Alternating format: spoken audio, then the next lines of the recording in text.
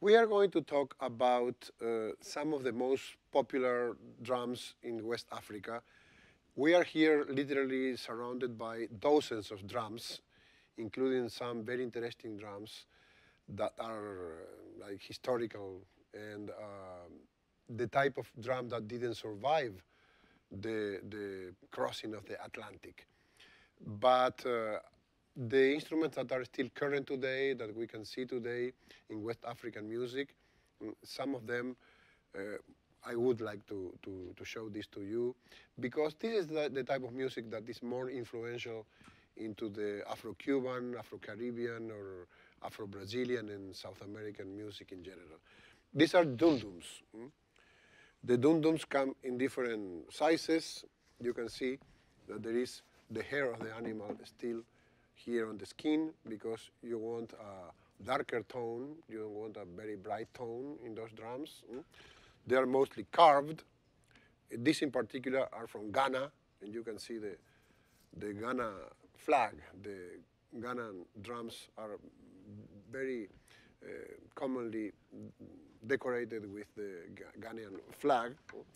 And what happened with the dundums is they can play alone or they can play in, in packs. Mm? Uh, one person can play one dundum or several, or sometimes, you have several dundum players playing different drums. They use the, the dundums in this position. Mm? mm depending of the country, they can use this type of mallets or just straight mallets, mm? but it's very common that they use this type of hook. Mm? Um, and uh, I would like to show to you how they use the dundums in a, in a different position as well. And you are going to see videos with uh, real African musicians playing them.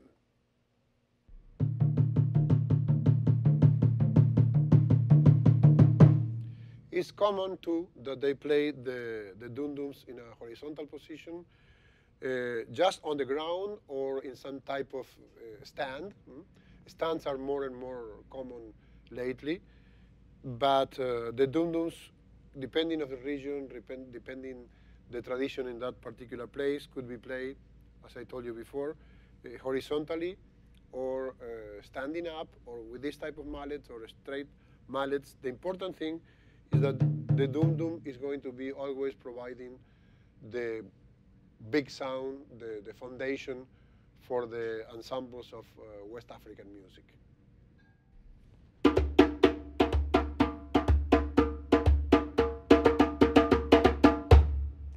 This is the djembe.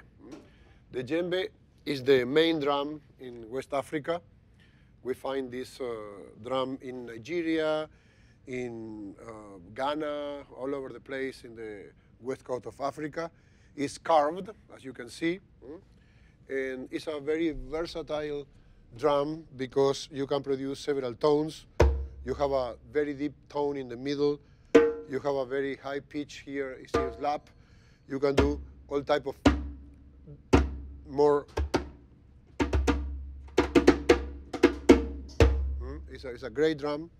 And uh, it's very interesting, but this drum didn't survive the crossing of the Atlantic this drum was, has not been reproduced in the Americas, but uh, many of the music that is played in the Americas with congas, for example, uh, actually uh, is very similar to the way in that they play the, the djembe in the music of West Africa.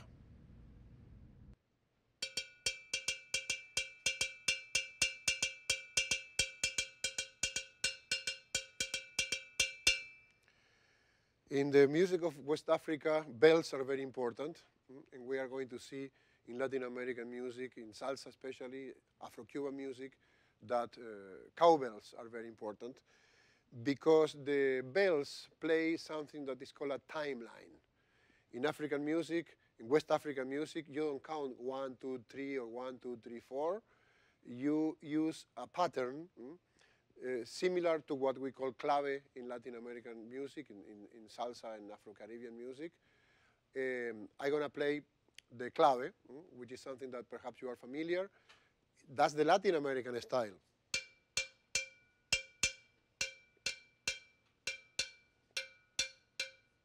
Mm -hmm. If you recognize that from a salsa record, uh, uh, this is exactly the same thing that happens in West African music. It's organized around a timeline. For example,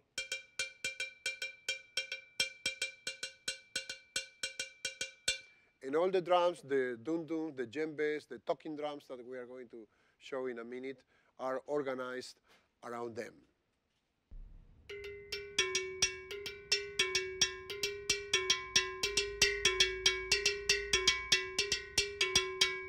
This is a huge West African uh, bell. Mm.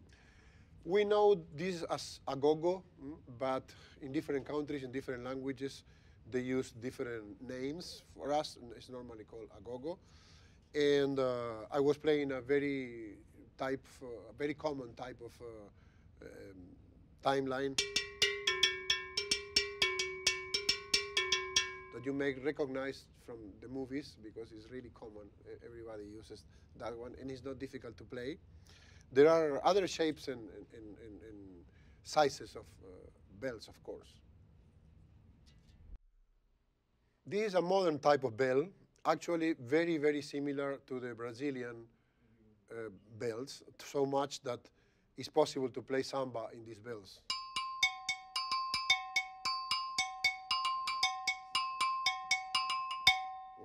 But actually, these are not uh, samba bells. Uh, these are African bells too, and they are used also to play some type of timeline, as I showed you before. For example.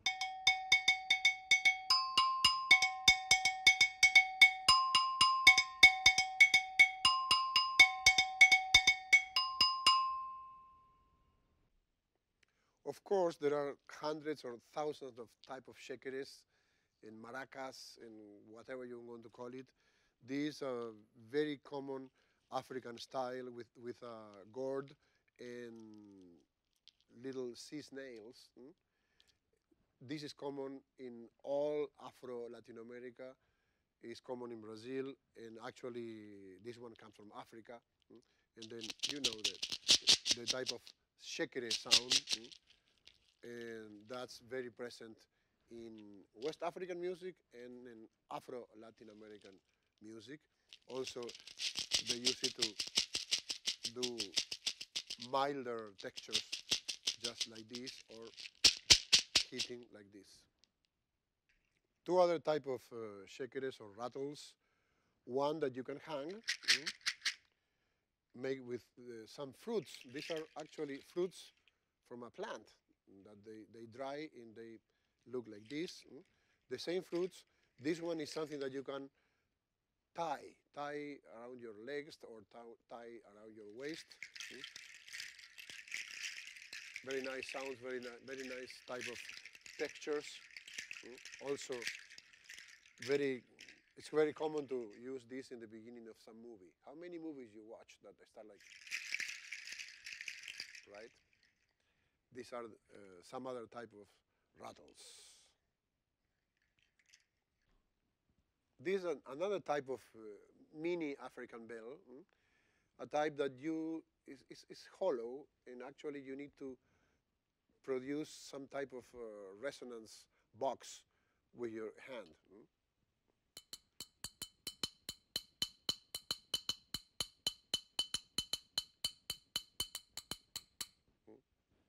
another another model of the, of the bells hmm, from different regions of West Africa.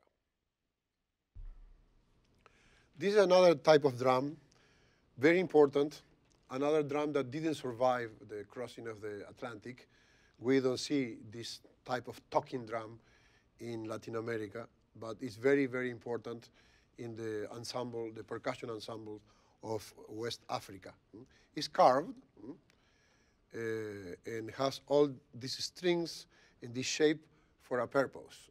And this is because you play this around your arm and you press like this, and with this you're going to change the pitch of the drum.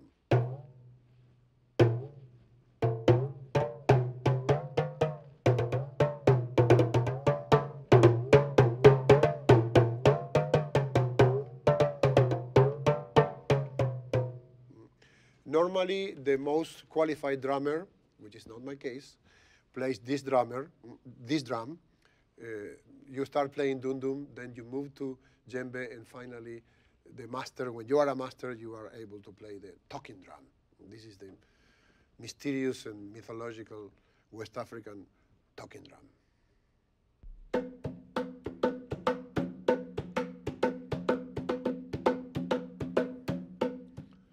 This is a very important drum, and this is a type of drum that did survive the crossing of the Atlantic. In West Africa, it's called bata, and it's a sacred drum. It's a drum used in the rituals of the Yoruba religion, for example. And it's a double-sided drum. In the original shape, it's only wood carved from a tree and uh, leather and tied also with uh, leather, with raw leather. And you play with one hand in one side and the other in the other. For example. And uh, in Cuba, especially, the slaves were able to reproduce this type of drum. And this type of drum is uh, nowadays also very important in the rituals of Santeria and Abakuá and all the types of uh, Afro-Cuban religions. Millions of people are uh, followers of the Afro-Cuban religions, and these drums are still in use for that.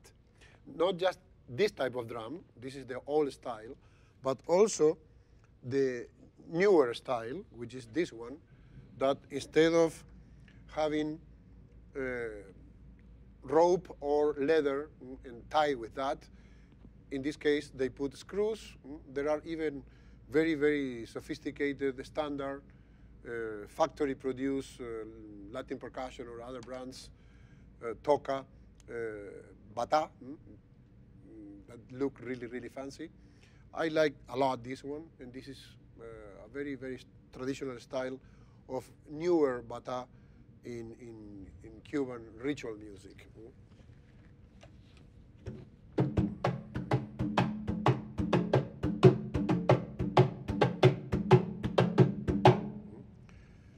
And both are